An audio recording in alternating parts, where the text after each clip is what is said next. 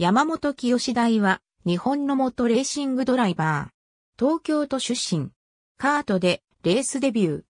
ー。2001年にはカナディアンチャンプッカーライツに参戦し、9戦中2勝を挙げ、シリーズ2位。2002年、フォーミュラ日本にソフトオンデマンドノバからフル参戦。当初は全日本 F3 選手権に参戦予定だったが、前年のカナディアンチャンプッカーライツの後半の成績から適応性の良さをチーム代表の森脇元康が高評価し、フォーミュラ日本への参戦が決定した。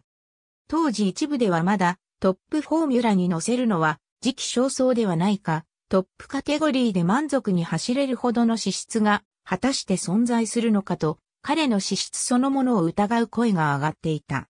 本人も経験不足かもしれないが、精一杯頑張ると当時のインタビューで述べている。開幕前のフォーミュラ日本ルーキーテストでは、無事にルーキーテストに合格。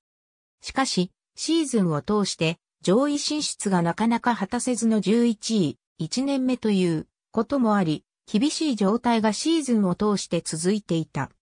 その年を最後に本人自身の持病による問題があり、モータースポーツからは遠ざかっている。同時にノバエンジニアリング自体もチームの弱体化が表面化し、翌年限りでフォーミュラ日本からは姿を消すことになる。モータースポーツの現場を去って、以降長らく彼の動向は不明となっていたが、飲食業等いくつかのビジネスを経て、現在はオイルメーカーのパワークラスター社をジップと経営しながら、カートレースのコーチで、更新の育成などを行っている。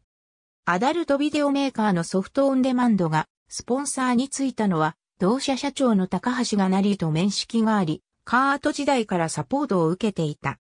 フォーミュラ日本参戦時の記者発表では、高橋から冗談半分で優勝できなかったらうちのビデオに出てもらうとの激励を受けた。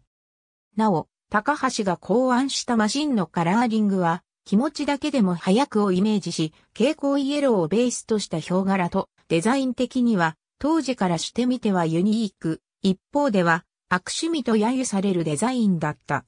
また、同チームのレースクイーンにソフトオンデマンドから、アダルトビデオをリリースしていた宇佐美京子などの現役 AV 女優が起用された。